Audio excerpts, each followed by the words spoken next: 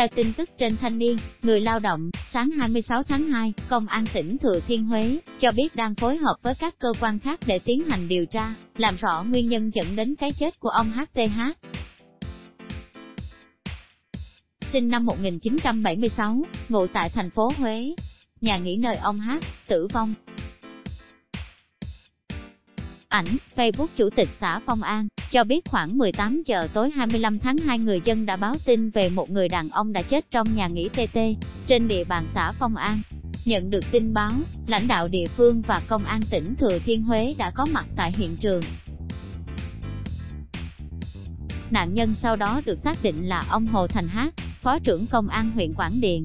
Liên quan đến vụ việc, Đại tá Nguyễn Quốc Đoàn, Giám đốc Công an tỉnh, Đại tá Đặng Ngọc Sơn, Phó Giám đốc Công an tỉnh trực tiếp có mặt tại hiện trường chỉ đạo điều tra vụ việc.